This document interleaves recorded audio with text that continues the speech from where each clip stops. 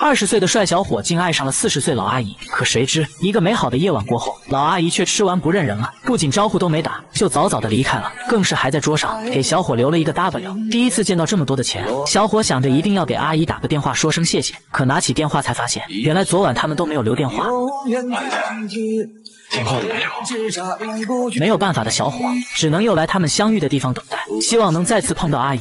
可经过好几天的等待，小伙虽然遇见了许多和阿姨一样气质的女人，却始终没有见到她心里的阿姨。然而缘分就是这么奇妙。正当小伙觉得此生也许再也见不到那个心心念念的阿姨时，他却在一次画展上遇到了阿姨。可让小伙万万没有想到的是。这个自己心心念念的阿姨，却对他异常冷漠，不仅一点没有恋人重逢的热情，更是直接把他当成了空气，转身就走了。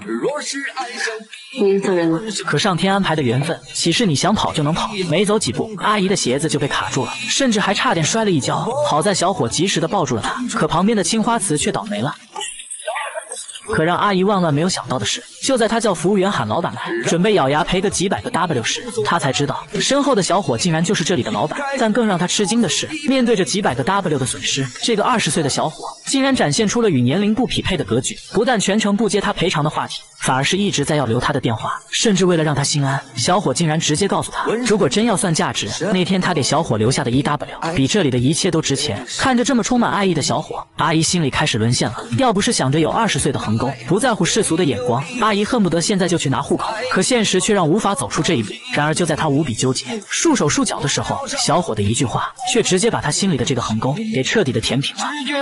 你多大了？二十三。等几个月过完生日我就二十四了。你还在过生日的年龄啊？姐姐我都不知道，上次过生日是哪一年？等你下次生日的时候，我陪你一起吧。